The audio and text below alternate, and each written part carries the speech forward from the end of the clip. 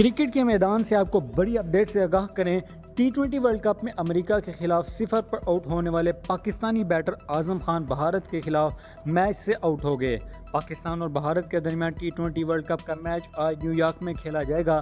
पाकिस्तान को T twenty world cup में अपने पहले मैच में अमेरिका के हाथों सुपर ओवर में अपसेट शिकस्त हुई, जबकि भारत ने अपने पहले मैच में आयरलैंड को आठ विकेटों से हराया था। जराए के मुताबिक पाकिस्तान और भारत टाकरा पाकिस्तानी टीम के लिए 11 फाइनल खिलाड़ी कर लिए गए हैं।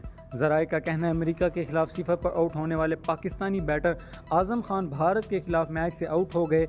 इमाद वसीम को आज़म खान की जगह टीम में जगह मिलेगी। पाकिस्तान टीम भारत के खिलाफ चार फास्ट बॉलर, दो ऑलराउंडर स्पिनर के साथ मैदान में उतरेगी। जराए के मुताबिक कप्तान बाबर आज़म और कोच गैरी किर्सन का आज़म खान के ऊपर से अतमाद उठ गया है। जराए का कहना है, भारत के खिलाफ मैच से कबल आज़म को नेट की, नेट प्रैक्टिस में एक गेंद भी खेलने को ना मिल सकी। वो प्रैक्टिस के दौरान तनहा ही खड़े रहे।